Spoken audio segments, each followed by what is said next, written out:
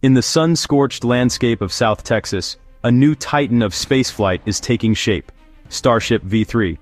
This is more than just a bigger rocket, it's a fundamental shift in what's possible for space exploration. V3 is designed to move beyond suborbital hops, aiming for operational, orbital-class missions with reliability and cost-effectiveness that could change the economics of space for generations. This rocket is not just an upgrade, it's a revolution in space technology.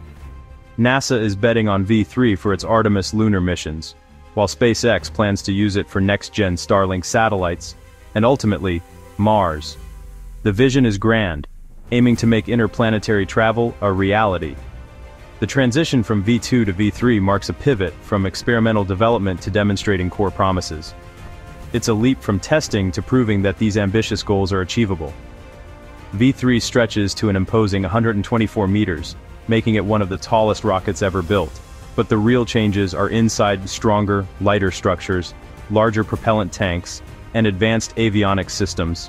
And at the heart of it all is the powerful Raptor 3 engine, a marvel of engineering designed for efficiency and power. These upgrades are essential for boosting payload capacity to make Moon and Mars missions feasible. The ability to carry heavier payloads opens up new possibilities for scientific research and commercial ventures.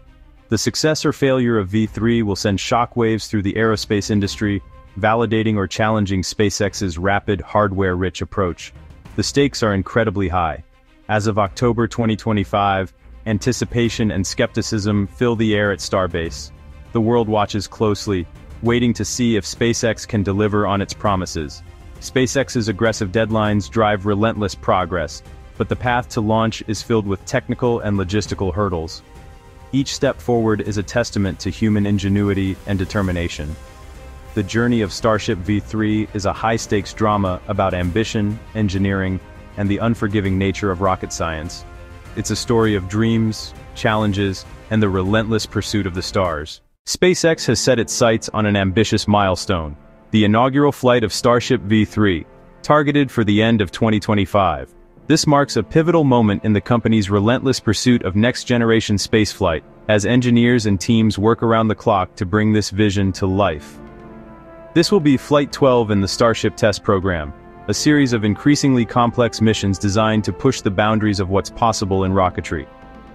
For this crucial mission, Super Heavy Booster 18 will be paired with Starship Upper Stage 39, Together, they aim to finally achieve Earth orbit, a feat that has eluded the program through 10 previous, often dramatic attempts.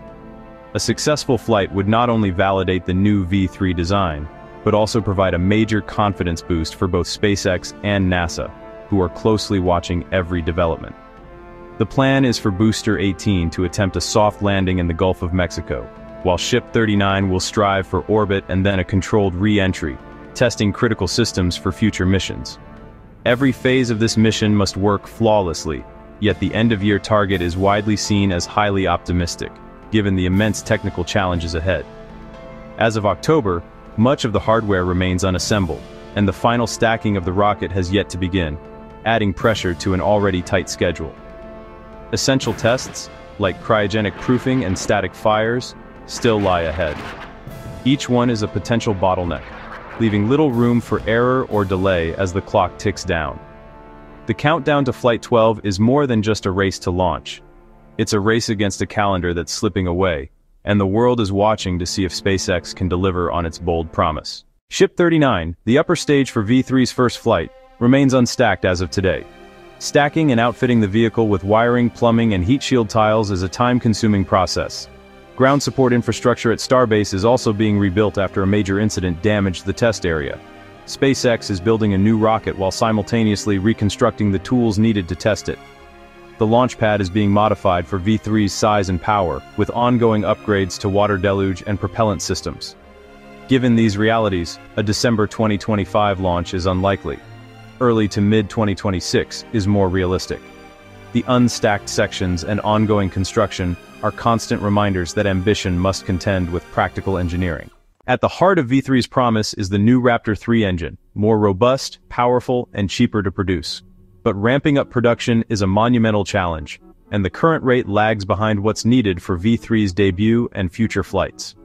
A full Starship stack needs 39 engines, and delays in engine production directly impact the launch timeline.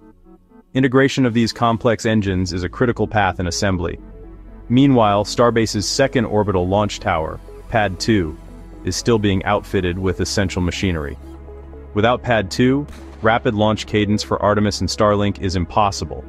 Even if Flight 12 launches in early 2026, a single pad will constrain operations. Pad 2's completion is as crucial as the rocket itself for meeting future commitments. Delays in the development and launch schedule of Starship V3 ripple out across the entire space industry, most notably impacting NASA's ambitious Artemis III lunar landing plans, which depend on Starship's readiness. NASA's Human Landing System, a heavily modified Starship designed to ferry astronauts to the lunar surface, is central to Artemis. But every V3 delay pushes the 2027 target further out, making the timeline increasingly uncertain. The Aerospace Safety Advisory Panel has warned that Starship HLS could be years late, threatening not just a single mission, but the entire Artemis program's timeline and momentum. To land on the moon, Starship HLS must be refueled in orbit by a coordinated fleet of tanker starships, a capability that's impossible without a reliable V3 fleet and robust multi-pad launch infrastructure, both of which are still in progress. NASA has no backup lunar lander in place, if Starship isn't ready, Artemis unravels. Delays cascade through the program, affecting not just the lander, but lunar spacesuits, surface hardware, and other mission elements tied to Starship's schedule.